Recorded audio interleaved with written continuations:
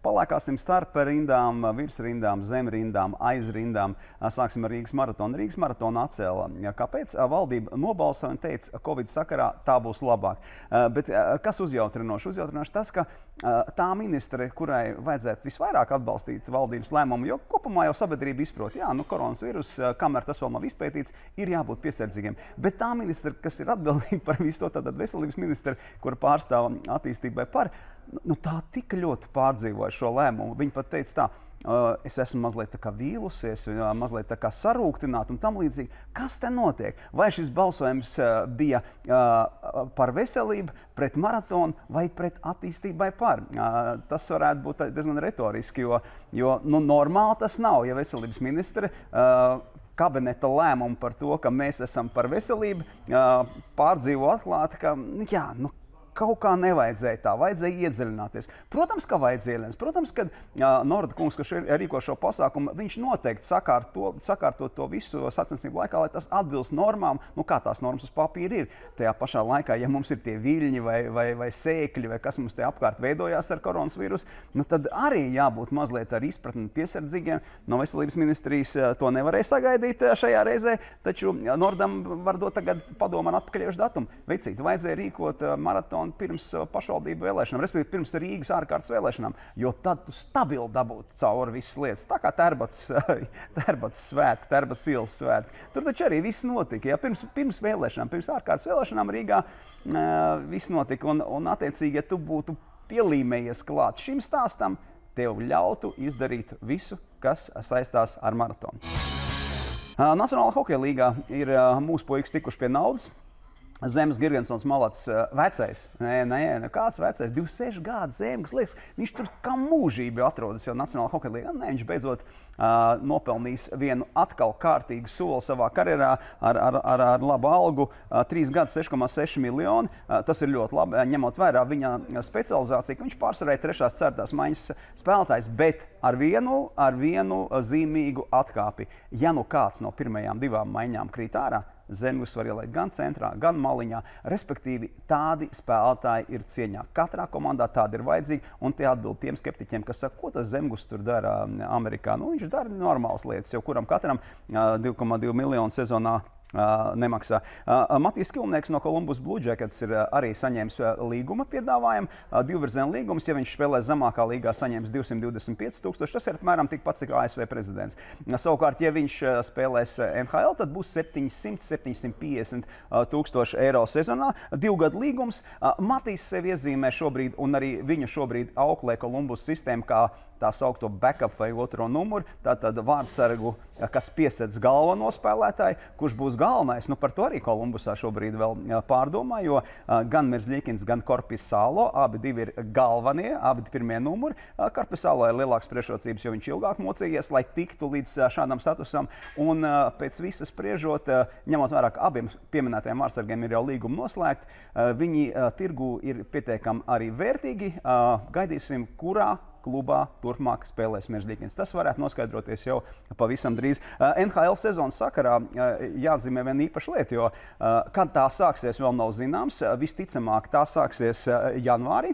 Taču jau tagad var pateikt, ka, ja Rīgā notiks pasaules hokeja čempionāts, tad mēs neredzēsim nevienu NHL spēlētāju šeit, jo sezona tur turpināsies. NHL kluba vadības un saimnieki ir pateikuši, mēs netaisamies ne meklēt kompromisu ar Starptautisko hokeja federāciju.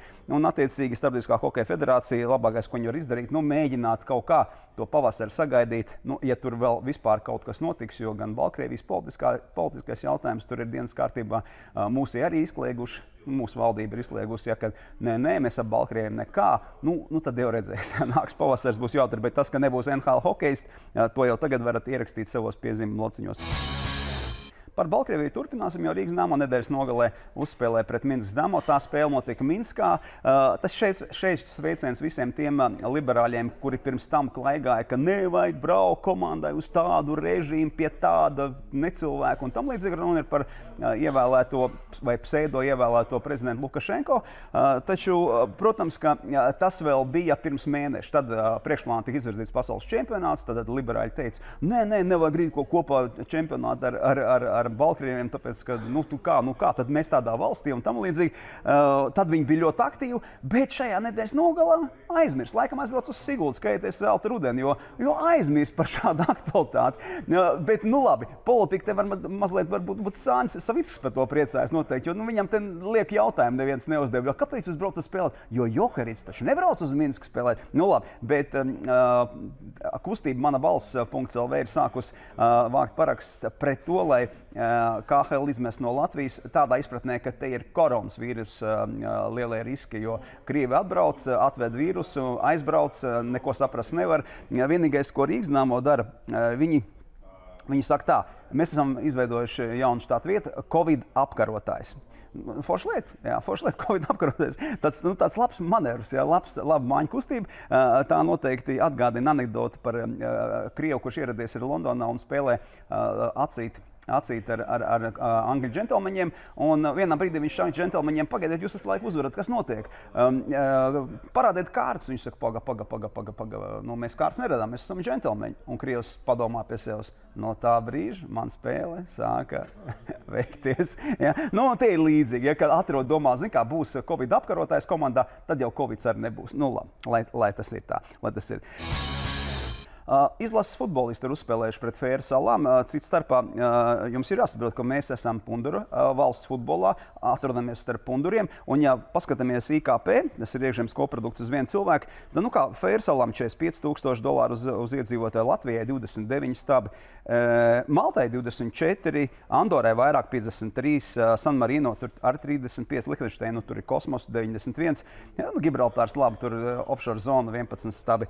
Respektīvi, mēs atrodamies D līgas otrā grupa. Daži saka, nav jau kur zemāk vairs krist. Nē, nu, ir vēl um, uh, D līgas uh, otra grupa. Tur ir, tur, piemēram, ir Gibraltārs, Liechtensteins, San Marino. Ja, tur, tur ir arī ko darīt. Bet mēs nospēlējam viens viens, un, un nav nekas slikts. Ja tie, kas uh, saka, ka tādas komandas ir jāuzvar tādā kompānijā, vispār mums tur jābūt kā karaļiem kādā sakarā. Nu, kādā sakarā ir šāda pārliecība? Jo paskatāmies, kas notiek šīm valstīm apkārt. Kaut vai paskatāmies to Andoru, kas ir vienā pusē, kur kāda robeža atrodas vienā pusē un kas ir otrā. Starp Franciju un Spāniju jūs domājat, ka viņi tur ir uztaisījuši zonu, kurā nespēlē futbolu vai nemāk spēlēt, vai negrib spēlēt pagalmos futbolu.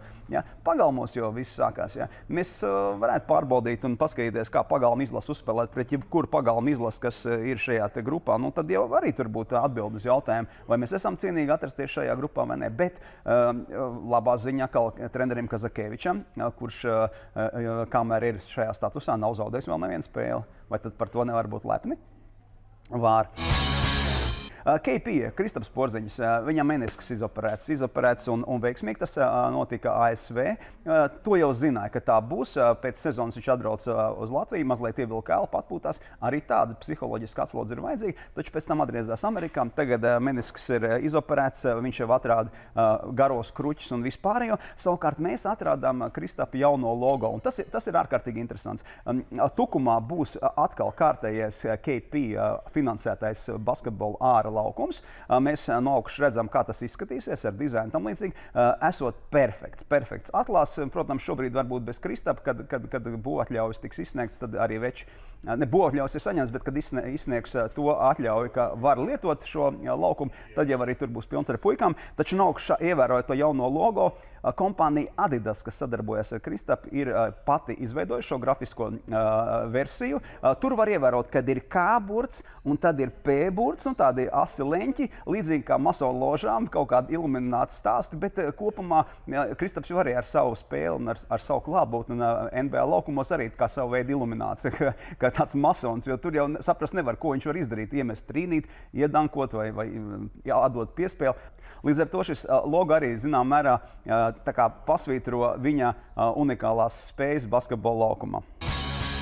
Nu, un tad pie mūsu uh, rausīšā Igors Raus ir tāds šahists. Viņš pārstāvējis gan Latviju, gan Čehiju. Um, slavens palika ar to, ka nu, viņam atņēma lielmeistara uh, uzplečus, jo viņš vienā no turnīriem Uh, iegāja toaletē un uz poda sēdot ātri pārlūkoja dažas atklāsmes, kas viņam baigs svarīgas. Un, kā, nu, kādā brīdī arī cietais disks aiziet ciet cilvēkam, tur iestrēgst kaut kas. Un, un, un, un par to viņi diskvalificēja. Nedrīkst izmantot tādas palīgi ierīces un tam līdzīgi.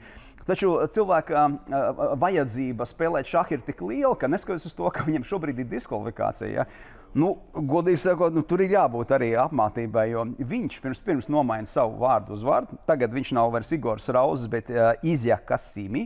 Uh, Kasīmi ir viņa uh, pirmās sievas uzvārds. Attiecīgi, nu, viņš atcerās, acīm redzot, labos laikus, kas viņam bijuši jaunībā. Labi, bet tagad Igors Rauzes ir Izja Kasīmi un aizvedītajā nedēļā.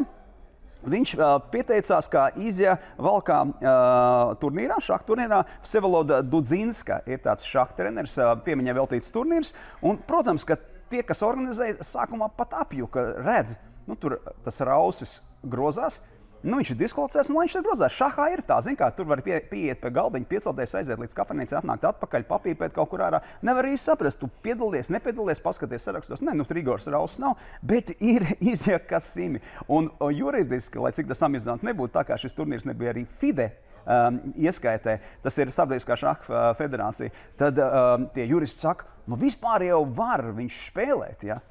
Viņš, nu, kas tas ir? Nu, Uzvara šajā turnīrā bija uh, 100 vai 150 eiro. Tas liecina par to, ka uh, Igors Rauss ir tik negausīgs uh, savā šāda mīlestībā, ka nu, gan maina identitāti. nu, tas tā, tas tolets stāsts jau šobrīd ir otrajā, otrajā plānā. Respektīvi, tur rangā tolets stāsts tagad apsteidz to, ka viņš ir nomainījis identitāti un joprojām grib palikt pie šāda, lai gan, lai gan patiesībā ir diskvalificēts. Vecais tev kauns nav. Nu, ja nav, nu, tad izdomā kaut ko vēl, ja, lai ir interesanti. Jo šobrīd garlaicīgi nav ar tevi. Jā, absolūti. Armand, Pasaka, lai skatītājs spiež patīk un subscribe mūsu kanālam. Kas, kas subscribe? Spiediet patīk, subscribe un sekojiet līdz mūsu video.